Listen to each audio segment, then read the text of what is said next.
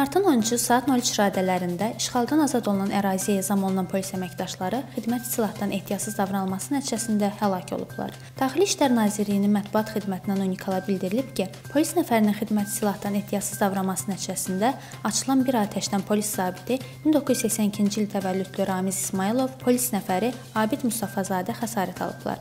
Göstərilən tibbi müdaxilələrə baxmayaraq onlardan biri hadisə yerində, digəri xəstəxanaya aparılarkən həyatını itirib. Araşdırma aparılır.